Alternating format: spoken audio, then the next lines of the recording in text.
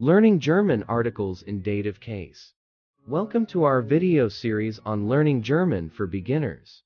In this video, we will delve into the various articles in the dative case, a crucial aspect of German grammar. Learning objectives. Before we explore the articles, let's outline our learning objectives. We'll begin by understanding what the dative case is and explore the question, when. The video will then cover definite articles, followed by indefinite articles, and finally, negative articles. Understanding dative case. To comprehend the dative case, let's analyze a simple example. Differentiating between direct and indirect objects, we'll see how the indirect object, often a person, signifies the recipient of an action. For instance, in the sentence, the mother buys a dress for the daughter, the daughter is the indirect object. Question word, Wem.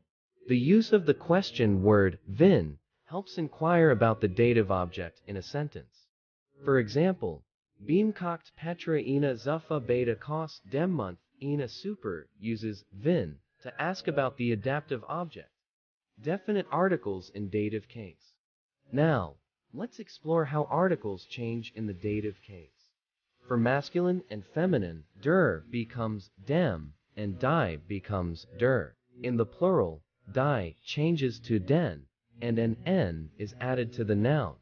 Indefinite articles in dative case. Moving on to indefinite articles, ein changes to einem for masculine, ein to einer for feminine, and ein to einem for neuter. In the plural, there is no indefinite article, but remember to add an n to the noun. Negative articles MDTs. Negative articles follow a similar pattern to the indefinite articles.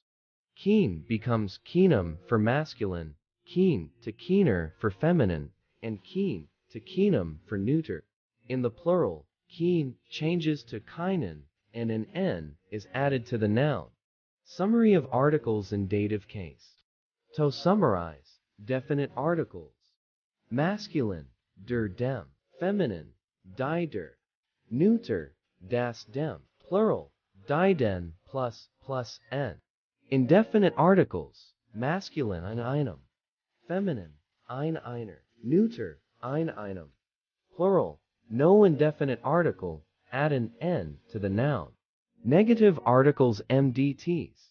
Masculine, kein keinem. Feminine, kein keiner.